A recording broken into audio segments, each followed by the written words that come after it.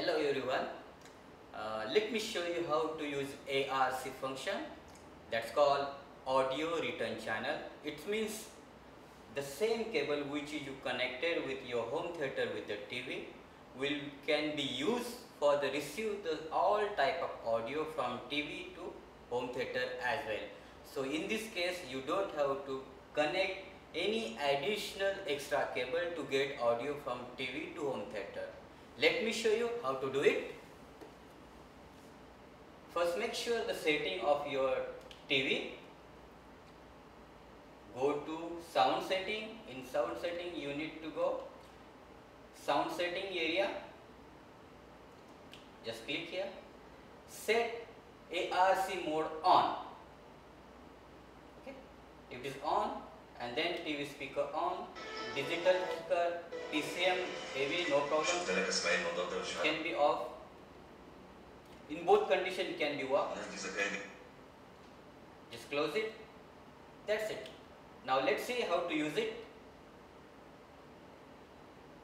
Go to input list. Select antenna and you can see here TV speaker, external, external speakers, TV ساعة ربع speaker. من دلوقتي وعمرو وراها You can see volume is اتفق مع احنا نتقابل في المطعم كمان ساعة ونص في احتمال كبير قوي يكون مكشف في المكان ده is TV volume. Now just select external and try here. You can see home theater audio in, in audio. It's simple and this can be used for all purpose. Now your RF signal is moving to TV and audio goes to your home theater. Let's try it. How's work with USB? Let's see first audio. There are audio in so many tracks. I am playing one. Now you can see the home theater audio. But if you want to wish to use TV, just click external and TV speaker. That's it. Now your audio is TV. You can see I'm increasing sound or decreasing sound is TV sound. You wish to use home theater, just change it. External speakers, close and let's see home theater.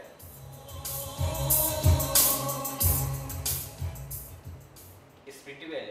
These options can be used for all purposes.